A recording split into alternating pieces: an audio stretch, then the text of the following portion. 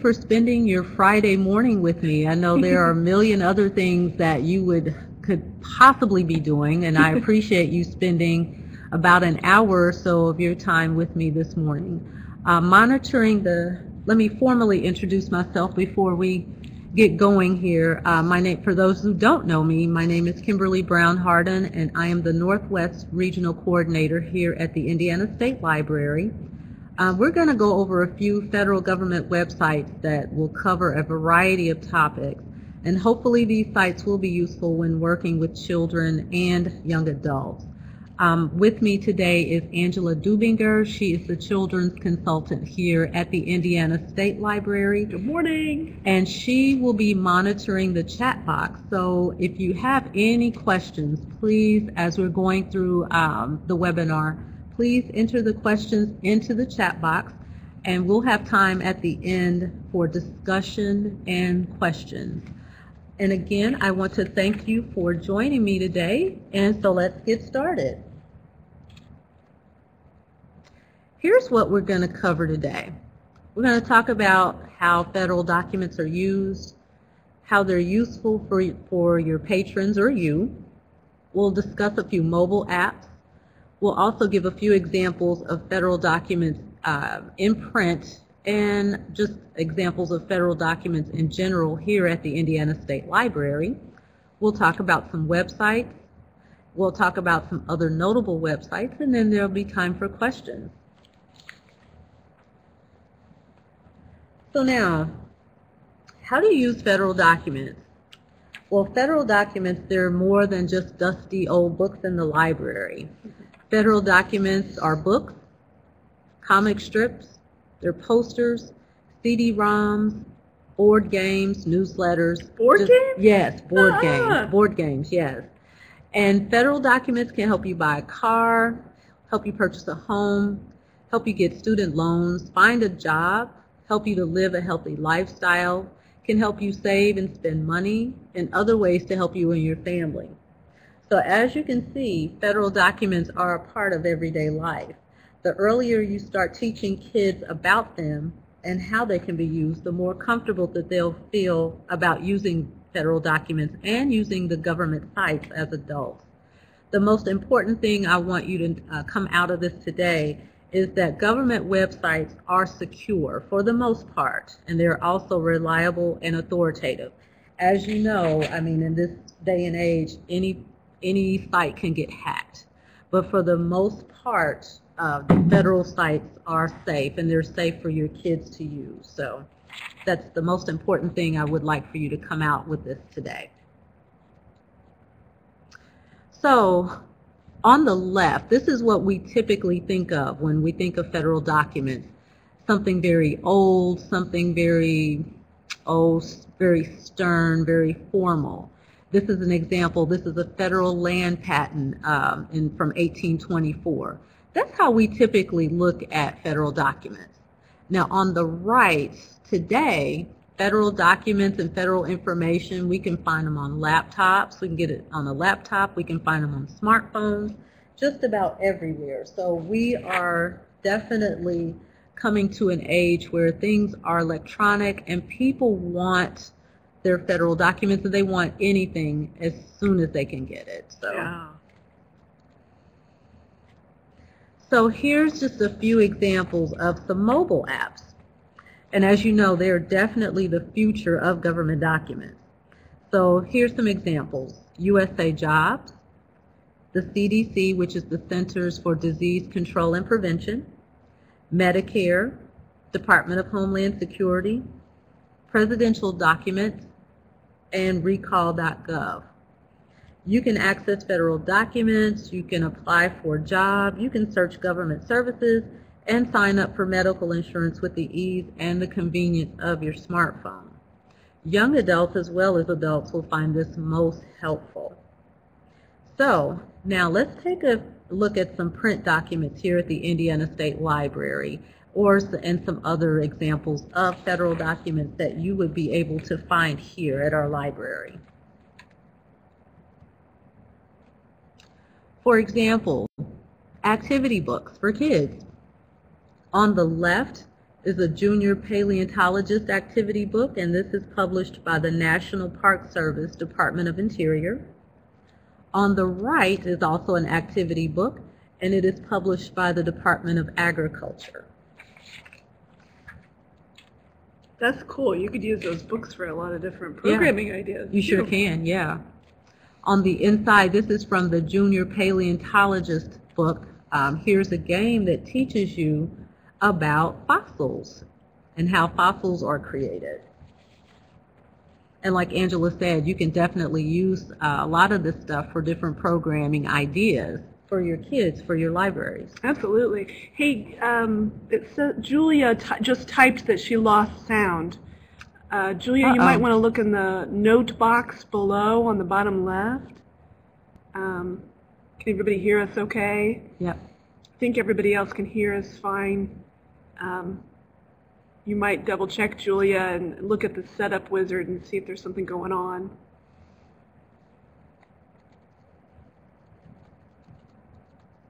Can everyone else hear us okay?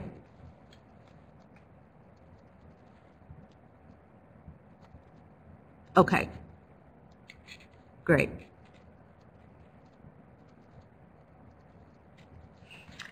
All right, here's another example. Uh, most people don't think of federal documents, but as a puzzle. On the left, these are some puzzle, puzzles that were done by NASA about the uh, space program. Cool. And on the right, also published by NASA, is a poster. So, and also as I mentioned earlier, I couldn't uh, get a picture of it, but there's a really cool space game uh, also created by NASA where you has the game pieces, dice, everything. I wanted to play around with it while I was at work, but they wouldn't let me do it on the Oh, but- man. but yeah, those are examples of federal documents as well.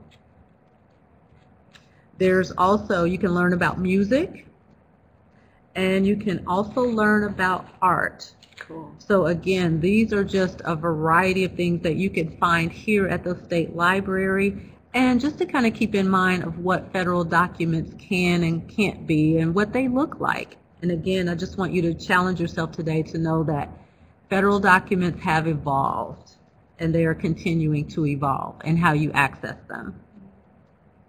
All right, so let's talk a little bit about websites.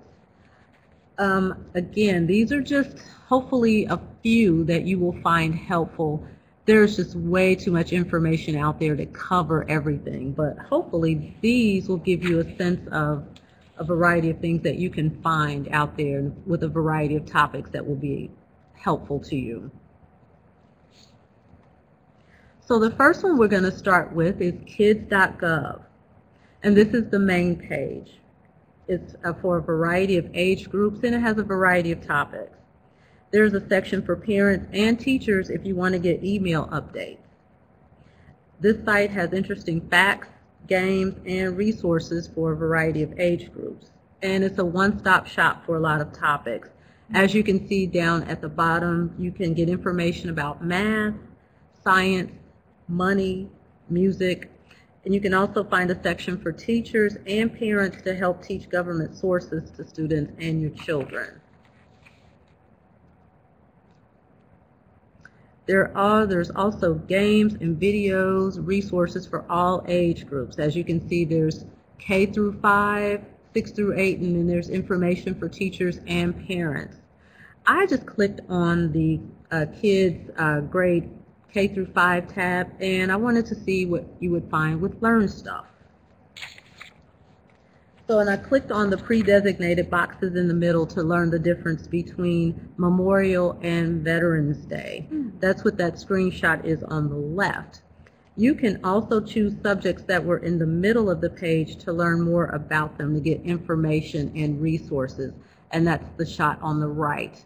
And again, you can see the different categories. There's art and music, there's history, there's a way to teach about online safety, there's exercise and healthy eating. So as you can see, you can pick either your topics there or you can do search as you saw on the main page there. Nice.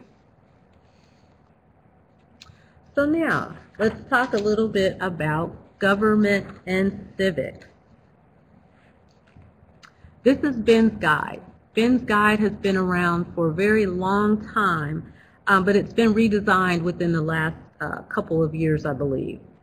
This site, you can get information for ages 4 through 14 and older.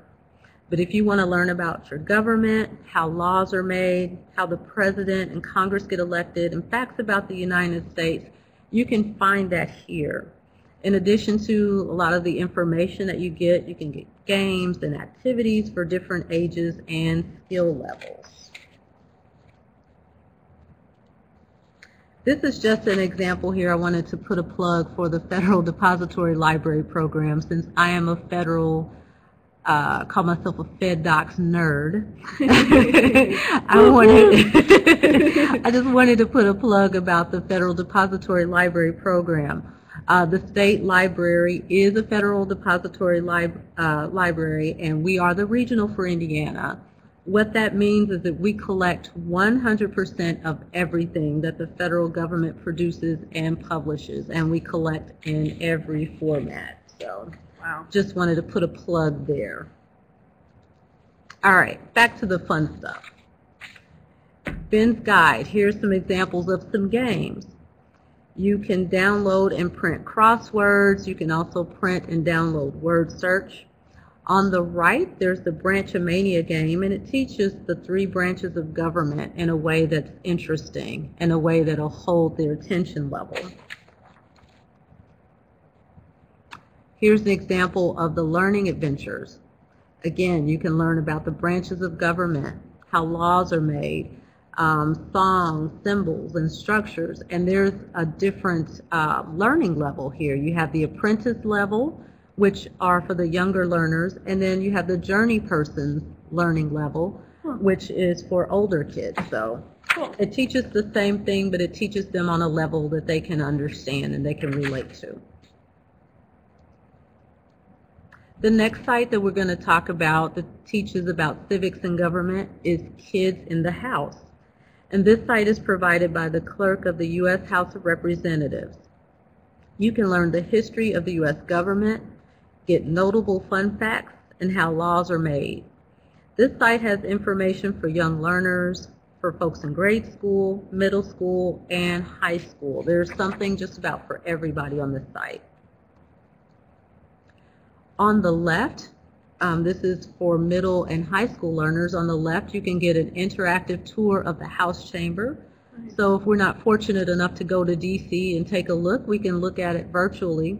If you click on the little uh, magnifying glasses there, it'll uh, give you information about what it is and and any um, any other fact about what it stands for, how it was made. Oh, that's cool. Kim, Yeah. actually, I had a, gr- a group of students that came in one time to my, my previous library, Uh-huh. and they didn't get a chance to go to DC, but they wanted to do an activity at their local Ah. library. And this actually would have been a nice thing for them to do, is kind of explore, you Yeah. know, virtually and get a sense of, of tou- the tours and the buildings Yeah. there at DC. So. Yeah, that would have been really cool.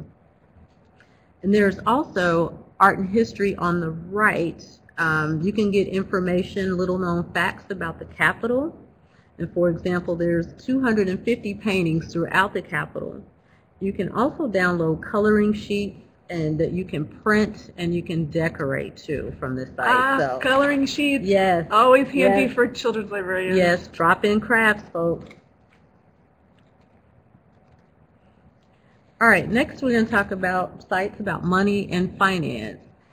And probably most kids do think that the money grows on trees anyway, right? So now we can teach them how money is actually made and how to manage it. So the first site that we'll talk about is from the U.S. Mint. And the site teaches about money, how money is made, and the history of the U.S. Mint. If you're interested in coins, you can learn about coins from the United States as well as other countries. There are games and cartoons to make learning about money fun and less painful. The Mint has information for current and future coin collectors. So there's information for just about everybody. You know what? That'd be a neat. A coin collector program or anything with this website would be good with, for Money Smart Week that Yes. American Library Association Exactly. does every spring. Exactly. That's a very good idea. So let's go over here just a few games that and some interesting interactive things that you will find on the US Mint site. As I stated earlier, there's a lot of games to teach about money, teach about history, coins, and just things that are for fun. In this section, there's categories for action games, adventure games, art, puzzles, facts, collecting, and multiplayer games. For example, I clicked on the wishing well game just to see if my wishes would come true. And Did I'm they? still waiting. I am still waiting. I keep waiting for that. I'm not rich yet, but I'm waiting. So the next category are the adventure games. As you can see here, there are um, Branches of Power, the Dollar Dive, the Quarter Explorer, Lewis and Clark Adventure. So if you're interested in adventure games, you can take a look at one of those. I clicked on the Branches of Power, and that is what I got. It's a dark, dark day in Washington D.C. And again, that's their words. It was not mine. I didn't say that. if you are interested in art, um, here are things that you can um, take a look at. There's the painter's Studio, there's the Sense of Color, Pinkies, Create a Card, and Making Change. I played around with the Making Change one, and this is what that looks like. I decided that I wanted to make my own coin, and that is what I came up with. This is my finished product. Notice the mint mark uh, there in the right-hand corner. I chose I for Indiana. But as you can see, um, it, this explains what a mint mark is actually. So this is another learning opportunity. And you can also choose your own mint mark. So you can make it your initial of your first name. I just chose I for Indiana. This is very otherworldly, Kim. Yes, I know, I know. And I Very always cool. like to give my two cents, so this is what this is. This is my two cents. So, and again, if you like puzzles, here are all the different puzzles that you can find on the site, um, from Lincoln Words down to Sudoku. Um, Yeah. This page it has um, everything about facts and coin collecting. The America the Beautiful Quarters game. There's the Arrows of Knowledge, Break the Bank. So again, there's something for just about every interest level. And then this is the example of the multiplayer games. More than one person can play and you can have a group of kids and want to play around. And as I mentioned earlier, there are cartoons. Who does not like a good cartoon?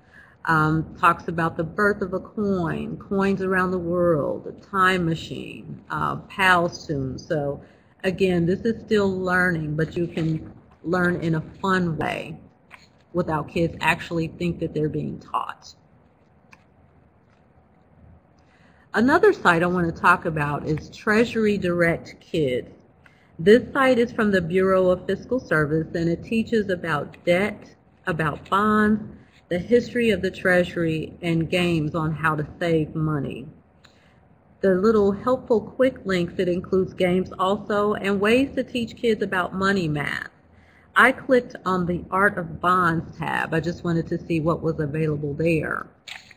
And this is what the link takes you to. It takes you to the posters that were published by the U.S. government to promote bonds. Savings bonds, as you know, were very popular and very common. Um, and this is what this next slide, this is what some of the older savings bonds looked like. oh, cool. And you can show some kids have probably never seen savings bonds, uh, maybe their parents or grandparents, great grandparents, but maybe they've never seen them. You can take them to this site and show them what an actual savings bond looks like. Here's an interactive history about savings bonds. You can click on any of the milestones to get information about the bonds and the time period. I chose 1942 to see what was happening then. There, as you can see, there was the war bonds poster. It was aimed at women. And it talks about what was going on during that time, about how they were trying to get financed for the war. So again, this is another um, interesting thing if you want to teach about our history as well, in addition to about money. Mm-hmm. You can learn about the history and about some of the wars and the great wars that were going on to help finance. Next category is health and fitness. And since Angela is here in the room, I wanted to put a plug that that is happens to be the theme for the 2016 summer reading program, the collaborative summer reading program is health, fitness, and play. So I just wanted to throw that out there. Yeah, so definitely a lot of good uh, resources here for your programming and services for next summer if you're going to use the CSLP manual. So the first one we want to talk about is Let's Move. And as you know, this initiative was started by First Lady Michelle Obama to combat obesity and encourage healthy eating and physical activity. On this site, you can get recipes, healthy tips, and resources such as how to plant a garden. There's information here for parents, for schools, local officials, as well as kids. You can also check out contests like the Kids State Dinner and the Winning Lunch Recipes, and this is from young people all over the United States. Oh, fun. Yeah. But first, let's take a look at this link here, how to try a new fruit or veggie. And I like this because it talks about how to have fun with it and ways to get your kids to introduce new fruits and new vegetables into their diet.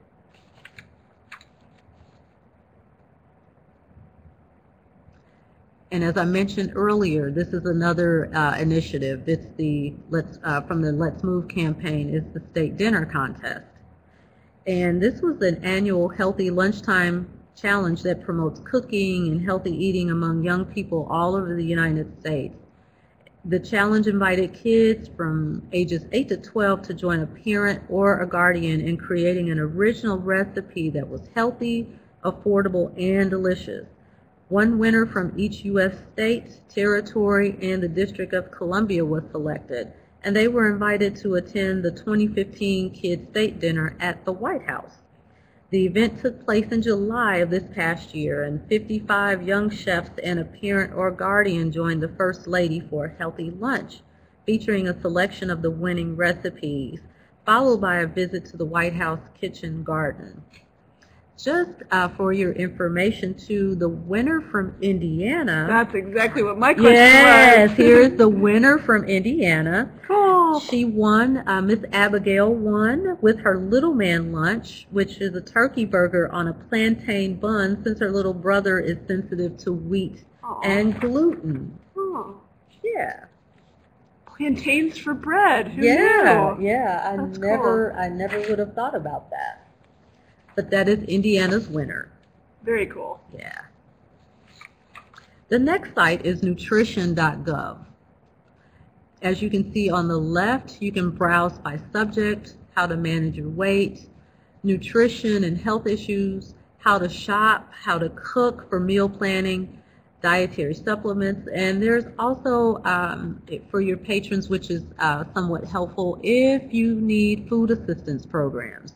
Um, as you know, that there's a lot of um, the lunchtime, the uh, summertime initiatives where they are trying to make sure that kids do not go hungry during the summer months.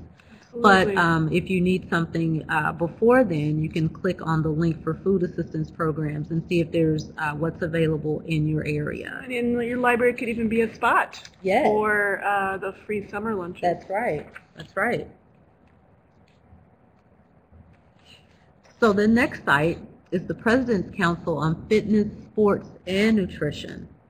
On this site, again, you can learn about healthy eating, exercise, physical activity guidelines, and other tips and resources. You can also come to this page and get stories and inspiration by reading other stories about physical activities and how to fit physical activity into your routine, which we all know is kind of difficult sometimes, but. And then here's just um, ways that you can be active and why it's important and useful resources. Cool. Our next section is going to talk about health, wellness, and safety. The first site is the CDC, or the Centers for Disease Control and Prevention. Now, many people, we only think about the CDC when there's a public health crisis, like the bird flu, food Right. recalls, and things like that. But they do have a page dedicated to the concerns and issues of young adults, such as uh, STDs, pregnancy, young worker safety and health, and spotlights on special topics such as LGBT youth. Now, the CDC's Division of Adolescent and School Health, also known as DASH, it is a source of support for HIV, STD, and pregnancy prevention efforts in the schools. It provides funding and technical assistance and enables state and local education agencies to deliver HIV and STD prevention programs that are scientifically sound and grounded in the latest research. And this is a screenshot of DASH, the Division of Adolescent and School Health. I clicked on the Health and Academics link here to get a little information about the topic. And as you can see, it talks about healthy students are better learners, how schools can partner and help them help students for a healthy start. Over on the right there, there's resources there about bullying and absenteeism. Um, so that I think that is very, um, very timely right there too, as we know that there's a lot of bullying in schools right now. So if you, especially those who work in schools, this will be very helpful for you if you want to use this as a resource. Yeah. I talk about the CDC when I do my teen development presentation. Ah, cool. And how it, it is Yeah. a good source, absolutely. Yeah. So this site too is also by the CDC's BAM, Body and Mind, which is geared, I think, for a little younger users. But you can see all the various topics here. There's diseases, again, there's food and nutrition, physical activity, safety, your body. There's also, if you notice in the center there, there's bullying roundup, there's physical activity, there's the immune platoon. Over on the left, there's information for teachers. And you can also, there's games, and there's also there in the middle, Scoop, and has information on various topics, anywhere from fashion to how ads can make you feel, and about safety. So again, the CDC is, is really a good site um, to teach about how to be safe and how to avoid sickness and things like that. So our next one is education. And this is the Department of Education. Has information and resources for parents, for families, teachers, and young adults. You can find out current issues in education by reading their blog, and you can also learn about how to get money for college. You can also learn about colleges to find out which one has the degree that you, your patron wants or your child wants and how to apply for that particular college. And this is just an example of one of the college resources. Um, this is a useful tool that you can use to compare colleges. You can do a search by location, by religious affiliation, by a specialized mission, location, programs, degrees, etc. So of course, we talk about education. We have to transition into jobs and careers, right? Because that's why we hopefully want to get an education is to get a very good job or a good career. This is USA Jobs. Now you can search this site to look for government jobs by a city or by college major. You can also do a uh, check for a list of government agencies and volunteer opportunities to get valuable experience before getting into the workplace. which we know that that is very important. Oh, this is the Bureau of Labor Statistics. So this is something to recommend if you, um, to suggest if kids are thinking about what kind of job or what kind of career that they want. This is a good place to start. You can click on any subject area and the Bureau of Labor Statistics, or you might hear it referred to as the BLS, it has suggested occupations that matches just about any interest.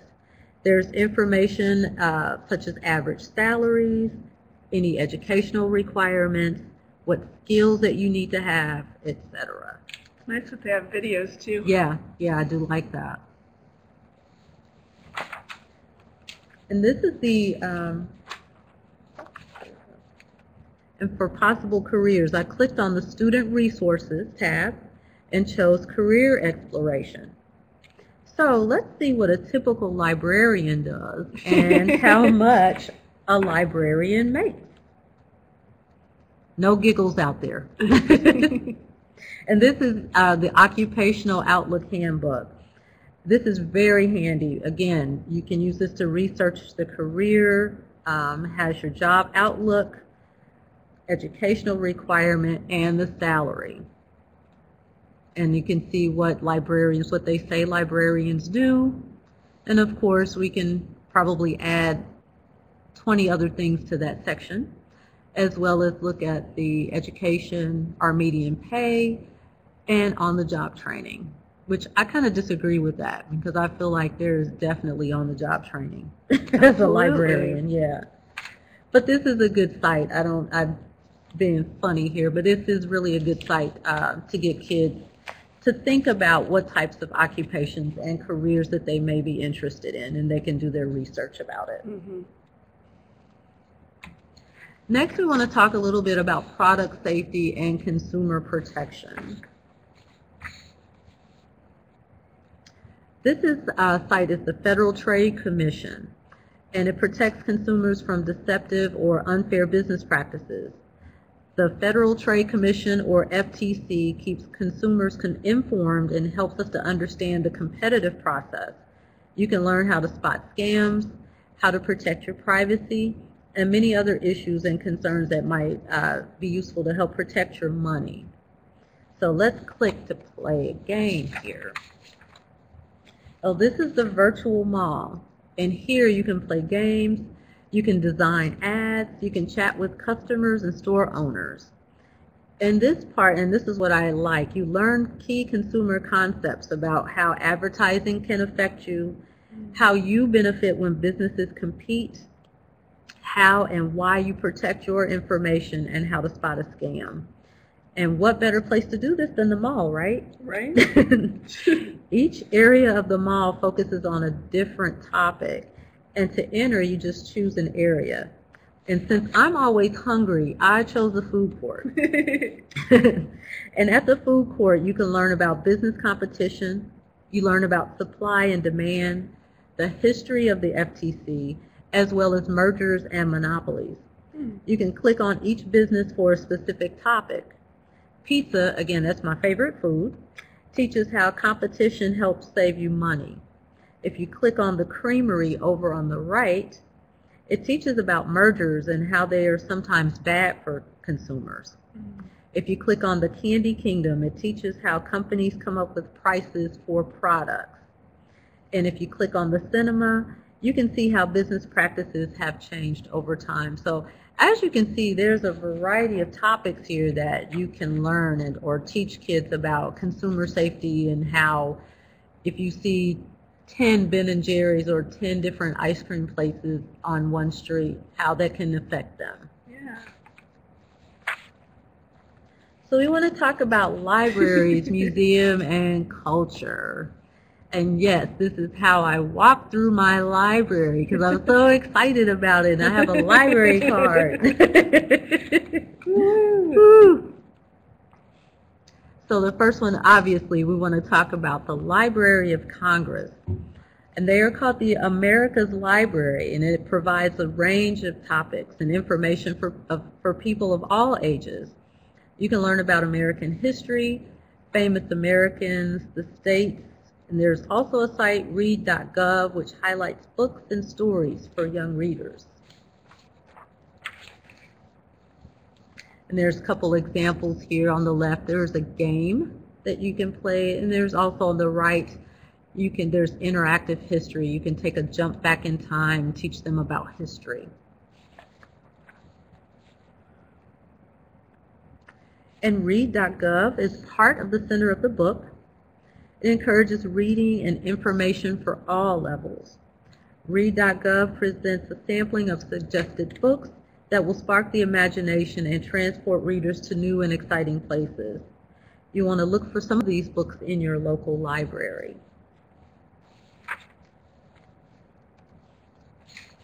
Also wanted to talk a little bit about the Smithsonian. This is Smithsonian Education. As you can see there, there's information for educators, for families, as well as students. I clicked on the students page just to see what uh, kind of information that they would that they would see. And there's a lot here. You can explore by topic if you're interested in art, science and nature, nature, history and culture, people and places. There's also idea labs. There's Smithsonian Kids.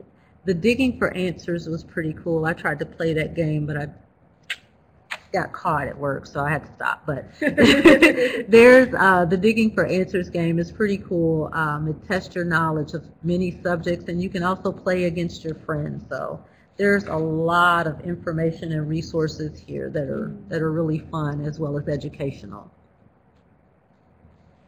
So next, let's talk a little bit about agriculture. This site is the USDA for Kids.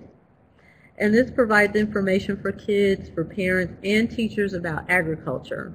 You can learn about science, nutrition, gardening, nature, weather, and animal health. There are also games and fun facts and resources for just about all age groups. And if you want to learn a little bit about animals, for example, you can find out how many glasses of milk does a cow produce, hmm. how many stomachs do they have, all kinds of information here. And you can also learn about nature and environment here. And this is the National Enquirer. I like that. you can get articles on scientific research conducted by scientists at USDA on nature, on trees, oh, forests, oh, yeah, wildlife, outdoor activities, and water. The Natural Inquirer is a middle school science education journal. Science, scientists report their research in journals, which enable the scientists to share information with each other. This journal was created so that scientists can share their research with middle school students. Each article will tell you about scientific research conducted by scientists in the USDA Forest Service. Oh, nice. Yeah.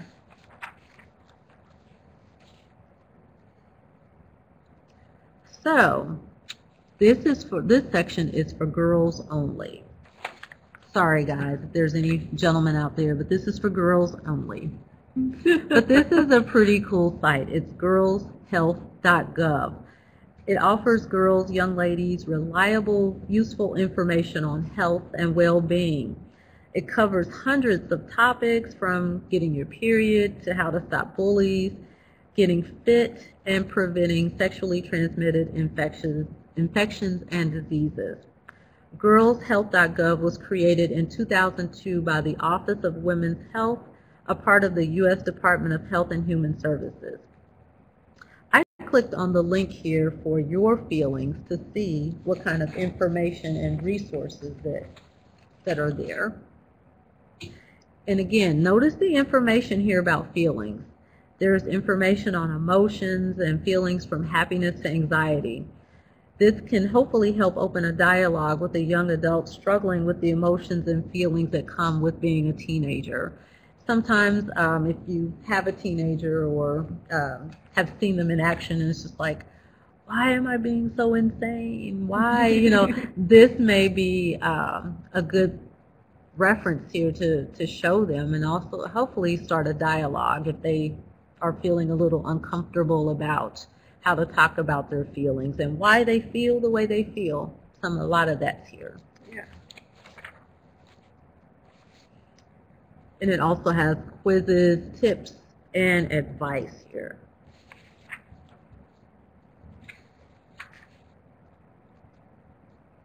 The next section teaches a little bit about crime. Not how to commit crimes. Not how to commit crimes, but this site is the FBI. This site gives kids a history of the FBI, the types of jobs at the FBI, safety tips, and games. It's organized in two sections here. On the left, you'll see kindergarten through fifth grade, and on the right, you'll see middle school through 12th graders. There's a lot of information and resources for just about every grade level. I selected the middle school uh, grade section just to see what we came up with. And then I chose the How We Investigate link.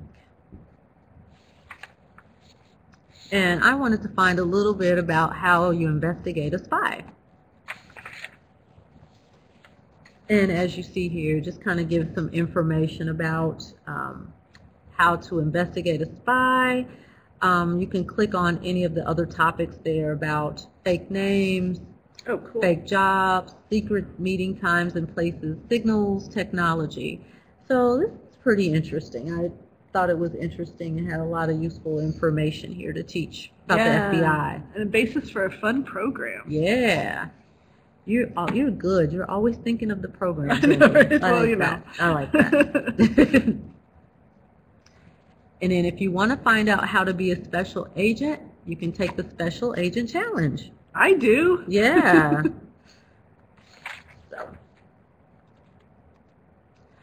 All right. So, and here's some other notable websites. Um, NARA, the National Archives and Records Administration, they have a wonderful Doc Teach page, National History Day. Um, if you want to teach them about research, about how to research history. Um, there's also the National Library of Medicine. And you click on search for the Visible Human Project. Has some really cool things about the human body and um, just how the body is made. And then finally, the U.S. Army Center of Military History. That is also a very good site, maybe for older kids if they're trying to do some research on some of past uh, conflicts and also military history. Yeah. So, yeah, yeah. All right. And at this point, that concludes my slides. At this point, if anybody has any questions or has um, anything that I said or they needed me to repeat, kind of look at again, now is the time to open up for discussion. So Julia asked, will there be a clickable, um, like a web uh, bibliography of all these links avail- available for us? Ooh, very good. Um, what I will do is I will post this to SlideShare, and you will have access to all the slides. Yeah, so the Indiana State Library has their own SlideShare account. You can go on SlideShare and see a lot of our presentations there. So great, thanks, Ken. Yeah. Thanks for the question, Julia.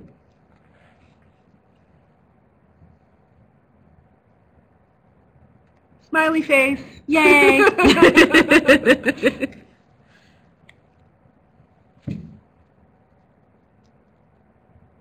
We see some other folks typing, see if there's questions or just saying thanks. Well, Oh. thank you guys for attending. yeah, thank you. You're welcome, Julia. Thank you. Anybody else? Oh, how do you get the space board game? Ah, very good question. Um, again, if you are um, An evergreen? Yeah, Evergreen Library or any patron that comes in, or you can actually, if you are do it in inter-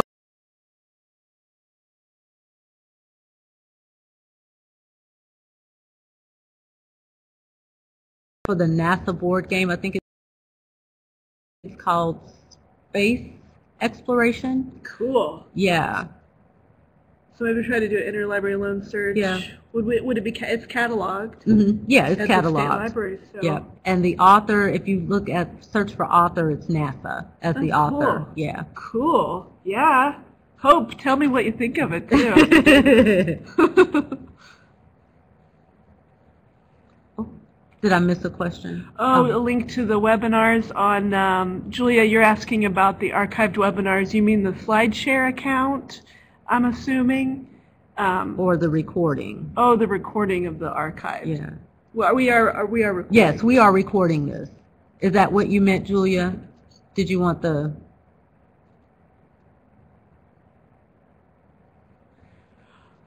No. Did you? So you don't mean today's recording, Julia? Do you mean the SlideShare account? Okay. okay, Yeah. Well, I'm, Kim will. yes, I will send the SlideShare link out to you. Um, actually, after sometime next week, when you get your LEUs, I will also give you the link to the SlideShare. Cool. Or if you're if you're planning something and you need that beforehand, uh, before I can get it out to you, send me an email and I'll get that and just send the link out uh, to the the SlideShare for you.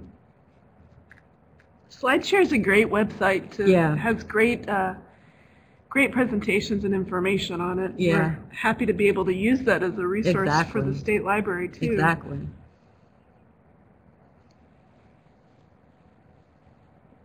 Looks like that- Mhm. that's it.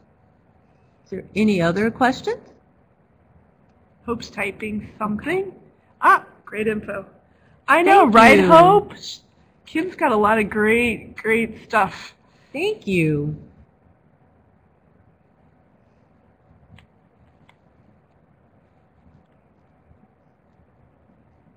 Thank you. Uh, thank you, Brenda. You're welcome. All right. Well, it looks like questions have died down. Um, if you do have any questions after today's webinar, you do have my contact information. So please feel free to send me an email or give me a call. Um, and again, if you need uh, the link to SlideShare before I can get it out to you, like I said, I'm hoping to get that out to you early next week. If something happens and you need it before I can um, make it available to you, just send me an email and I'll send you the link. But again, um, if there are no more questions, I again want to thank you for joining me today. Like I said, I know you could do a million other things on your Friday morning, so thank you for spending it, part of it with me and Angela. And I hope you guys have a great rest of your day. Take care. Bye. Bye. Thank